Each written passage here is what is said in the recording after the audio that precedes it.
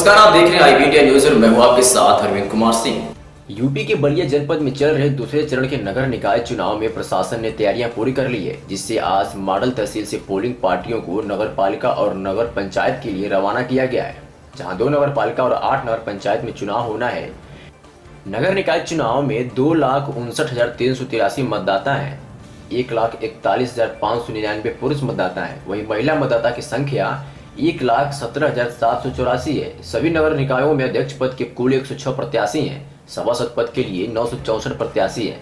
सभी 10 निकायों में कुल एक वार्डों में 115 मतदान केंद्र व तीन सौ सत्तासी बूथ बनाए गए हैं। इसमें 50 केंद्र संवेदनशील, तिरपन अति संवेदनशील व 12 अति संवेदनशील पल्स श्रेणी में है। जिला निर्वाचन अधिकारी सुरक्षा के पुख्ता इंतज़ाम किए हैं।